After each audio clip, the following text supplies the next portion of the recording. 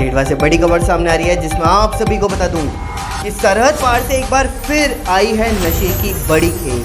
22 kilo heroin के साथ में चार तस्करों को गिरफ़्तार किया गया।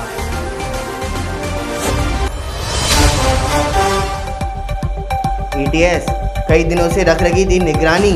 तो वहीं पाकिस्तानी तस्करों ने भारत में की 22 किलो हेरोइन की सप्लाई।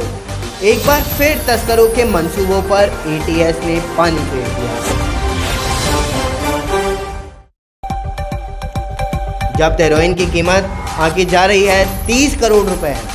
गिरावा थाना क्षेत्र में इस कार्रवाई को अंजाम दिया गया।